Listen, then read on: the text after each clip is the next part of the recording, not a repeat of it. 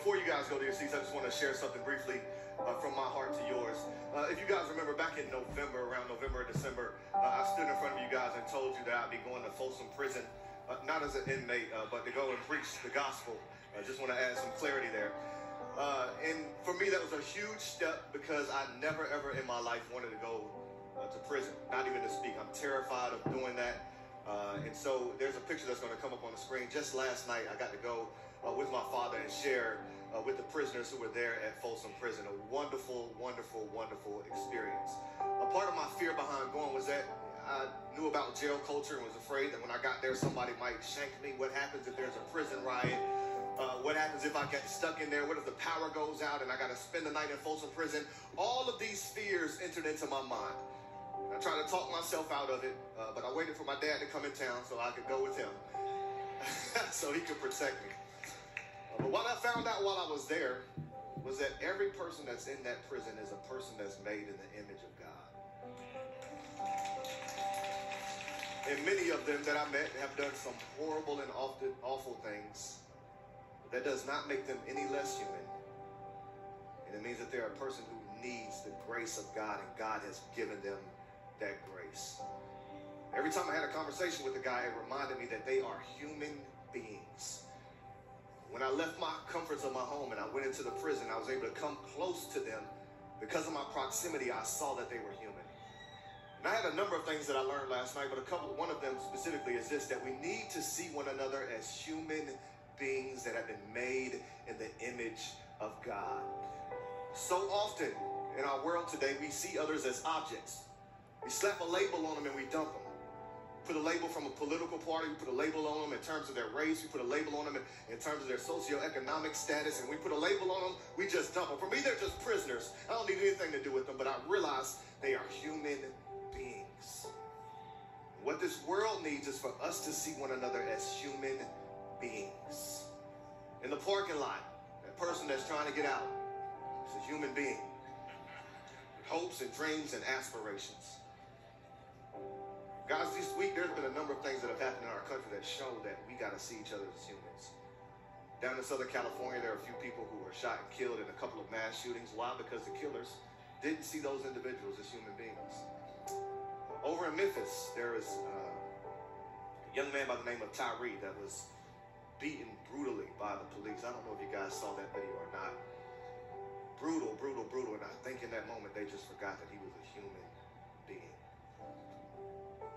I'm going to be very, very, very, very vulnerable here. Is that okay? Can I can I do that? Very vulnerable. Uh, I'm 38 years old. Grew up in Atlanta, Georgia. It wasn't until I was 30 years old that I had any meaningful, significant relationships with anybody who was not black. 30 years. God impressed something on my heart. Man, you got to do something about this. And I got to know people different backgrounds and races, and somehow ended up here in California.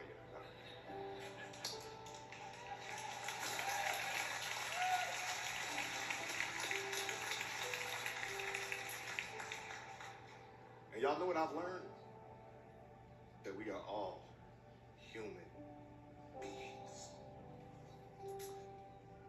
2020, when uh, things happened with George Floyd, uh, hostile and hot and difficult time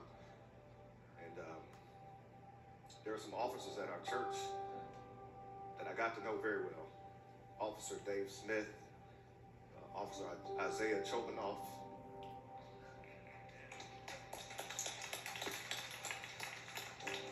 and uh, they became my friends, and I realized that those dudes are human beings. So this is my prayer for our church and for our country is that we see each other as human. That we wouldn't see people as objects, that we wouldn't be quick to figure out how we're supposed to feel about something. Listen, when somebody dies, it is a tragedy because they are human beings. So thanks for letting me take a moment this morning to share that with you all.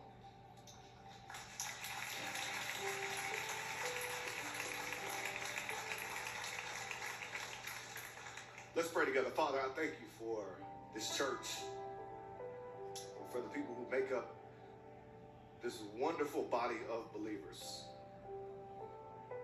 Thank you for allowing me to be their pastor. Father, I pray for each of us that whatever people we put a label on, that we would see them as humans that you gave your son to die for. Lord, help us to see everyone in that way, to see the world as you see the world, so that we can transform the world. Lord, I pray that as a community that able to be salt and light, that we shine light in dark places, that we wouldn't be worried about winning arguments and making points, but we'd be worried about making relationships with people so they can become to know the love and grace of Jesus Christ. Father, I pray that you would be with us through this service, that you would speak through us through your word and Proverbs. And Lord, if you can do anything today, we pray that the 49ers would beat the Philadelphia Eagles. We pray that in Jesus' name, amen. Amen. Go ahead, take your seat, greet somebody next to you, let them know that you're glad they're here.